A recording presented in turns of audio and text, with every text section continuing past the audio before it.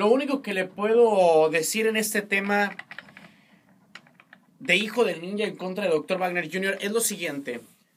La afición de Monterrey le urge, a la afición regia le urge aprender a distinguir las cosas. Porque a mí, comentarista de lucha libre, necesito comentar lo que veo a partir de que el Señor entre a la arena.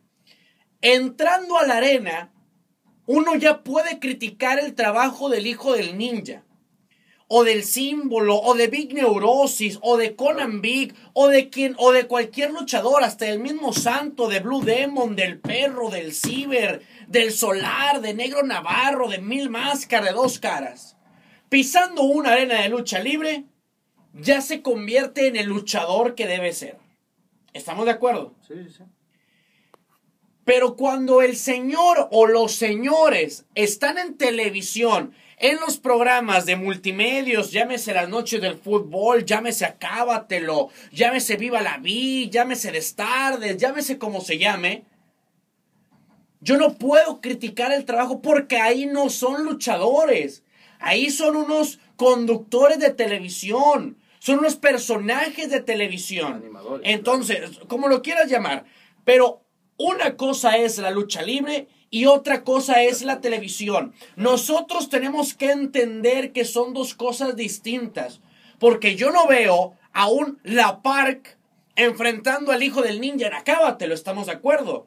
Yo no veo a un hijo del santo enfrentando a Conan Big en las noches del fútbol. Yo no veo a un Dr. Wagner enfrentando a un símbolo en Destardes.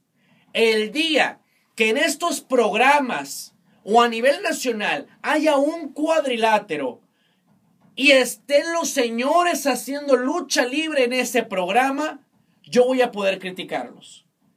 Pero por el momento, lo que yo puedo criticar o lo que yo puedo juzgar es cómo bailan, si el ninja baila bien la del delfín o no la baila bien, si bailan bien la de puro licenciado o no la bailan bien. Eso es lo que me correspondería poder criticar cuando ellos están en televisión. Mientras ellos estén en televisión, ellos son de televisión. Pero cuando ellos pisan el ring de arena Coliseo de Monterrey o de cualquier lugar, siendo una arena de lucha libre, yo tengo que criticar lo que es lucha libre. Eso es lo que la gente no termina de entender. Eso es lo que la gente no termina de ver. No termina de comprender que son dos puntos distintos. Uno es azul, el otro es rojo. Uno es sí, el otro es no. Uno es la puerta de entrada y el otro es la puerta de salida. Punto. Mientras la gente no termine de apreciar y de entender esto, vamos a seguir con el mismo círculo. Es un círculo que no va a terminar, porque la gente dice, oye, hacen payasadas. Me temo decirles, si tú la quieres llamar payasada, ese es punto del aficionado. Y para su triste noticia, no van a terminar. Va todo el 2015 y todo el 2016. Mientras que al empresario le sigue redituando el negocio, esto va a seguir. Cierto, ya no va a venir Niurka, ya no va a venir, eh, ya no va a subir Poncho de Nigris, ya no va a subir el Pato Zambrano, ya no va a subir Regalito, ya no va a subir Besares, ya no va a subir Chavana, ya no va a venir Jorge Castro, ya no van a subir ellos.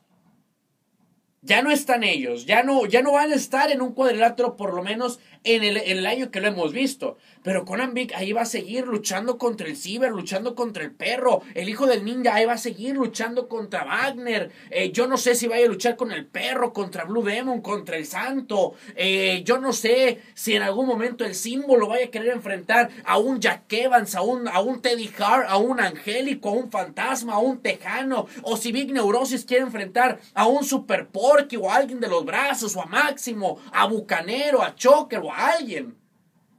Yo no sé qué vaya a pasar. Pero lo cierto es que el hijo del ninja tuvo un altercado con Dr. Wagner Jr., ya se lanzó el reto, Dr. Wagner Jr. todavía no responde las llamadas, todavía no responde los mensajes, pero siguen una guerra de declaraciones a través de las redes sociales que déjame decirte que han estado con, con picos muy altos, con visitas muy altas, eh, ha generado muchos clics, ha generado muchos retweets, ha generado muchos faps en Twitter, ha generado muchos likes, muchos comentarios.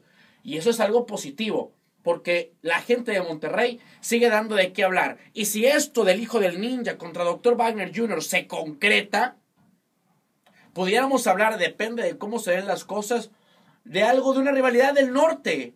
Que eso es lo que necesitamos. El norte no puede vivir de las luchas nacionales que hace AAA o que hace el Consejo. No, señor. Necesitamos rivalidades aquí. Aquí en Monterrey. Rivalidades con gente del norte. No que venga el Mesías contra el cibernético. No que venga el perro contra el Mesías. O no que venga Alberto del Río contra el Tejano contra el perro. No, la gente del norte es algo especial. La gente de Monterrey es algo especial. Por eso necesitamos rivalidades acá.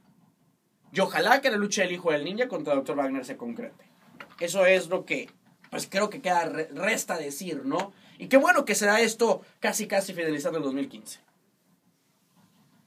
Nacho Rodríguez, ¿cómo estás? Eh, muy buenos días a